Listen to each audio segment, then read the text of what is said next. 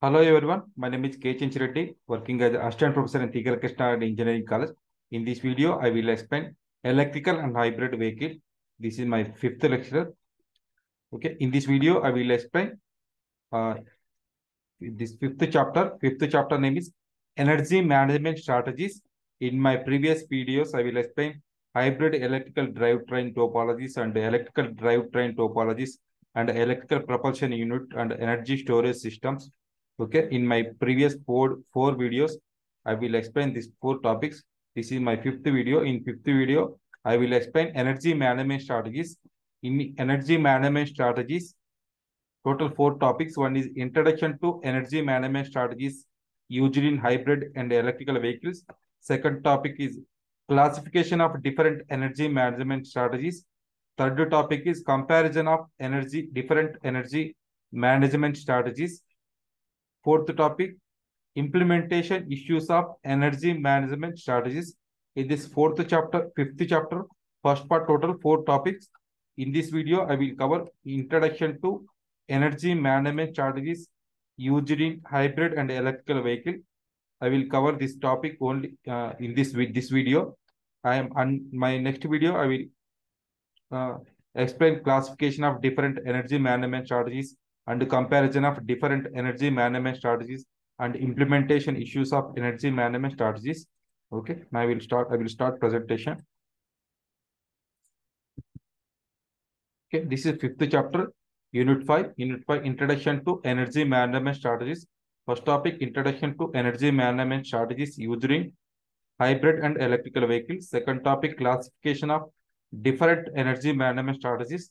Third topic, comparison of different energy management strategies. Next, implementation issues of energy management strategies. These four topics, fifth chapter, first part. Second part is case studies, design of hybrid vehicles and design of battery vehicles. Okay. This is the uh, circuit diagram, uh, block, uh, semantic diagram of introduction to energy management strategies using hybrid and electrical vehicles. Okay. In this circuit, here two control levels is there. One is a high level control. Second one is low level control. High level control is energy management system. This is high level control. This block. In this block, this low level control here ECU and BMS and TCU and fourth one MCU. ECU means the engine control unit. This ECU means engine control unit. Next, this BMS is the battery management system. This is next to TCU is the transmission control unit. Next, to this fourth one is the motor control unit. This fourth one is the motor control unit. Here, two uh, one uh, two arrows is there. One is the this thick line arrow. Second one is the dotted line arrow. This dotted line arrow here from the drive. Okay, this is the from drive. This reference will take from one. Uh, this is one reference. This is second reference. Okay, this is power. Next year, three differences is there. One is the vehicle speed. V VES is the vehicle speed. Second one is the engine speed. WENG is the engine speed. Next, third one is the WMOT is the motor speed. Here have total three speeds. One is the vehicle speed. Second one is the engine speed, internal combustion engine. Third one is the motor speed. Here, these three are three speeds. Next, this energy management system. Here ECU. These two are the bidirectional symbols. Okay, this is connected to ECU to powertrain and powertrain to ECU. Here also BMS to powertrain and powertrain to B, uh, BMS. These four are bidirectional symbols. Here, this TICE, this engine in energy management pro, this engine control unit, this connected. This is the IC is the internal combustion engine. Here next SOC is the state of charge control. Next, this TCU is the transmission control unit. Next, this fourth one is the TMOT. Okay, this is the motor, uh, motor torque.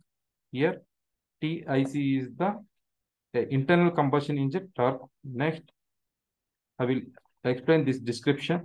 The engine control unit, ECU, determines the amount of fuel to to be injected given the desired torque request.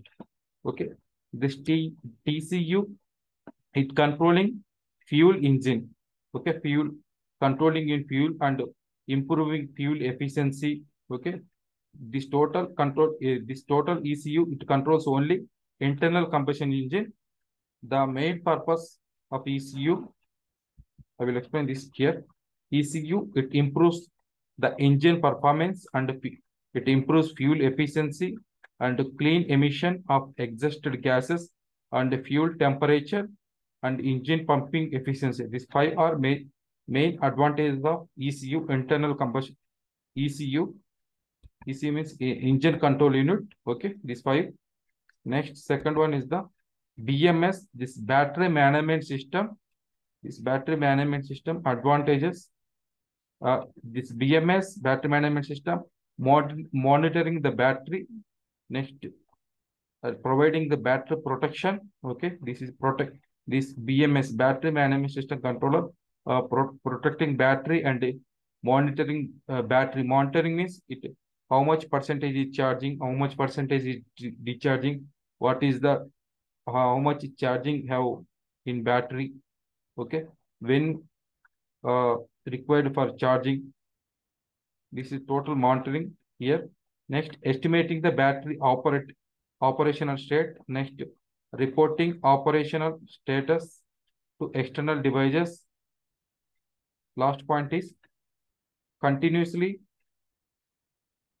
optimizing battery performance.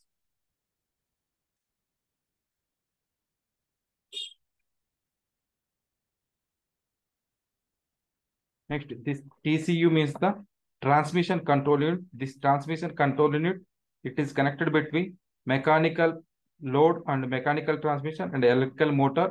Okay, this total TCU transmission control unit controlling transmission. Transmission means uh, mechanical device. Okay, this and electrical device. Electrical means it converts electrical motor. It converts electrical energy to mechanical energy. This transmission controller, it controlling motor output and transmission.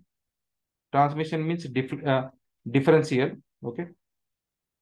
Next, this TCU electrical energy to usable mechanical energy. Next, this transmission, this TCU connected to transmission to motor without clutch. Okay. Transmission connected to motor without clutch. Next, fourth one is the motor control unit. This motor control unit protecting from over voltage and over current protection. Next, this MCU used in regenerative braking mode operation. Okay, these are the advantages. Motor control unit operating regenerative braking. It protecting from over over temperature protection and over voltage protection and over current protection. Okay, this motor control unit applic applicable in battery electrical vehicle and pure hybrid electrical vehicle, uh, pure hybrid vehicles and hybrid vehicles. Okay, this MCU easy and quick assembly with electrical vehicle propulsion motor. Okay, this is total. Uh, this topic introduction to energy management strategies used in hybrid vehicles. Next, here the automatic transmission control in TCU. Okay, this TCU is the automatic transmission. Um, automatic transmission controller in TCU decides when the shift shift gear based on engine conditions and vehicle speed. Okay, this TCU decides when gear shifting required. That time this TC, TCU will activate. Next point, the aim of energy management system is to determine the optimal power split between the onboard energy sources. Okay, this is the one more important point, power split. Next, minimize these controllers, minimization of fuel, con fuel consumption, next minimization, minimization of pollution, and maximization of battery life cycles. Okay, these are the advantages. This total control techniques, engine control unit and battery management system and TCU and motor control unit. Okay. In my next video, I will explain classification of different energy management strategies. Energy management strategies means uh, rule-based energy management strategies and optimization, fuzzy logic based optimize, uh, fuzzy logic based control strategies and optimization of control strategies. Okay, thank you. Thank you for watching this video.